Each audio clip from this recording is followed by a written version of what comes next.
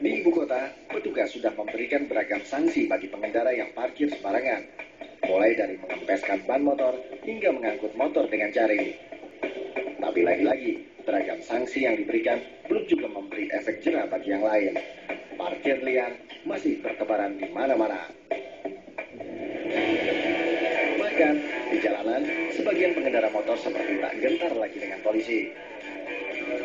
Saja saat razia pengendara motor yang melawan arus di Jalan Proklamasi Jakarta Pusat pada Kamis lalu. Polisi yang bersiaga seperti tak digubris.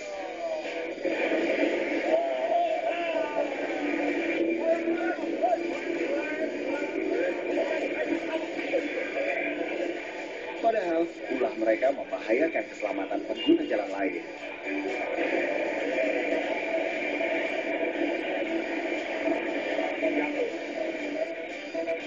Di antara para pelanggar yang melawan arus, ada yang menggunakan sepeda motor dinas perhubungan.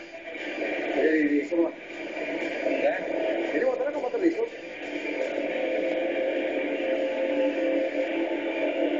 Dari mana mau main Bang? Taruh, Bang.